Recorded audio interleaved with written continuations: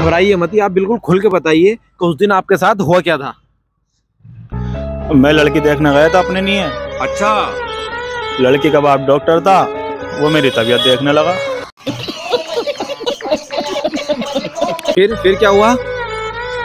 मैंने बोला ये क्या मज़ाक है? तो बोले मज़ाक तो हो जाता हमारी बेटी के साथ। फिर क्या हुआ? फिर मैं वहाँ से जाने लगा। लड़की के बाप ने कमज़ोरी की दवाई लिख के दे दी। मैं बोला, ये क्यों? बोला, तुम्हारी दो जाँच होंगी अभी। से जो टूटे कोई सपना, जग सुना सुना लागे, जग सुना सुना लागे, कोई रहे ना जब।